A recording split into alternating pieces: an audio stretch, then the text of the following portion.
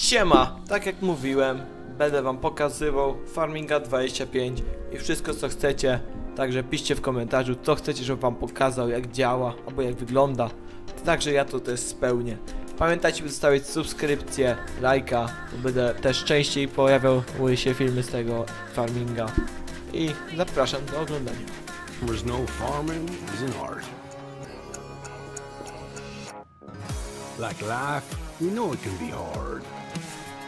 And it can be surprising, too.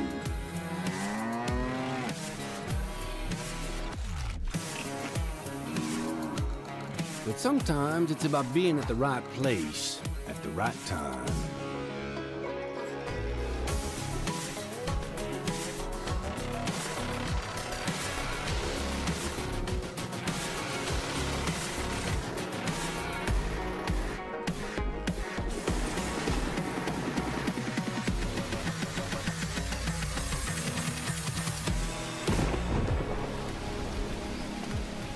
Wise man once said that the best lessons are learned under the wide open sky.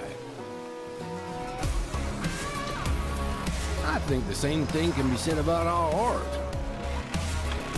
Yeah, it can be messy, but it's always beautiful. So beautiful it can help you see yourself and the world in all new ways.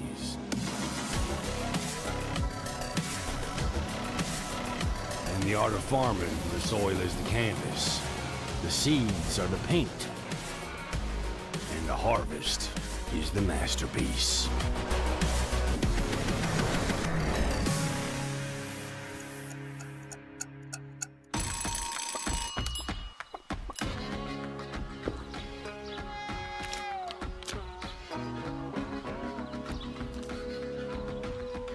Hey, this is pretty good. Yeah, it's pretty darn good. Is it missing something?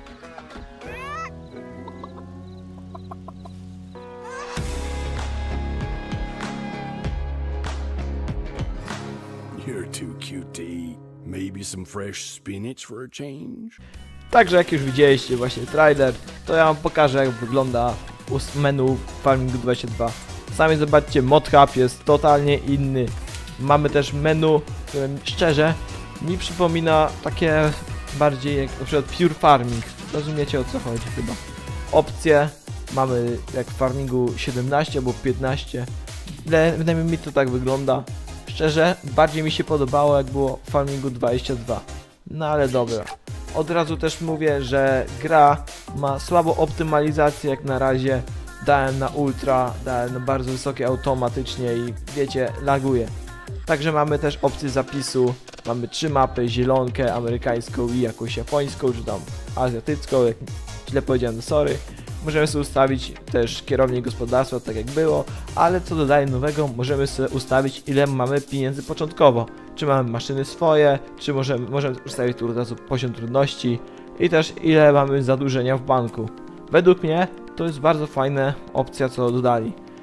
Także zobaczcie też jeszcze to, tu mamy ekran wczytywania, jak jedziemy na zapis. To wygląda 1 do 1 jak w Farmingu 3.11.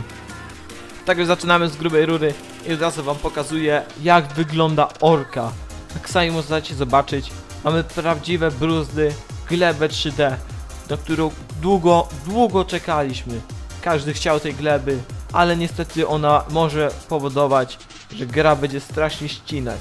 Jak już mówię na początku, jeszcze ma słabą optymalizację, bynajmniej ja mam lekkie ścinki, czasami większe. Posiadam kartę RTX 360 i procesor i5 12 generacji, generacji sorry, i 16 GB RAMów. Sami zobaczcie jak właśnie wyglądają te bruzdy. Jak się w nie wiedzie, oczywiście ciągnik buja jak poszalony. Ale jeszcze jedno co zobaczyłem to, że sprzęgło strasznie dziwnie chodzi w ogóle w grze. Dociśniesz na maksa i będziesz się powoli spuszczał, to nie będzie tak jak na przykład w ciągniku, że będzie wolniej jechał, tylko musisz jakby na końcu, taki końcówka z 2 cm po wciśnięciu sprzęgła, ono wystrzeliwuje jak rakieta i rusza od razu. Także sami zobaczcie też jak to wygląda, jak orzecie. To zakrywa nam bruzdę, zakrywa nam tą jakby dziurę, którą jakby zrobiliśmy przed, przedtem, nie? Jak będziemy jechać krzywo, to będzie krzywo zaorane, a nie tak jak w Farmingu 22, że wszystko ładnie równiutko.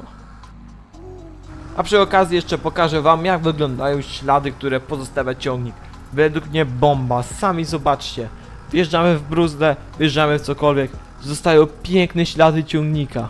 Możecie sami zobaczyć, co zależy też od szerokość opon, jakie są opony, jak jest jakby pole, jak pada deszcz, to oczywiście się przyklei do opon, jak nie, to się nie będzie tak kleić. Według mnie kozacko.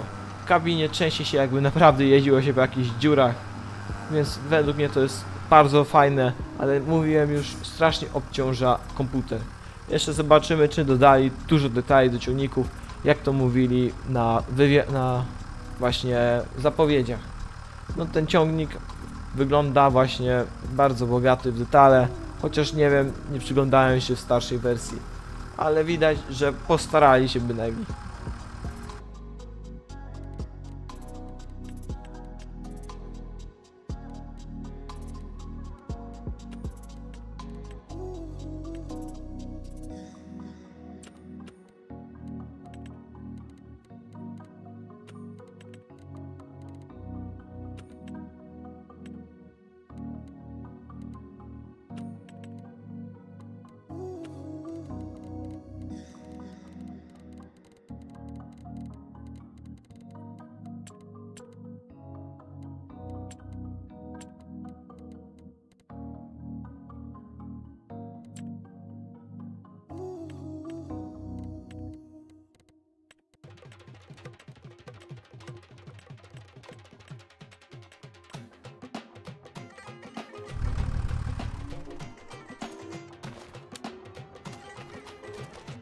Kolejną rzeczą, którą chciałem wam pokazać jest właśnie, można powiedzieć, taki dziadek, tacy ludzie, z którymi możecie gadać, żeby mieć na jakieś kontrakty. No niestety jeszcze po angielsku, ale wiecie. Tutaj możecie na przykład mieć jakiś kontrakt na oranie, cokolwiek.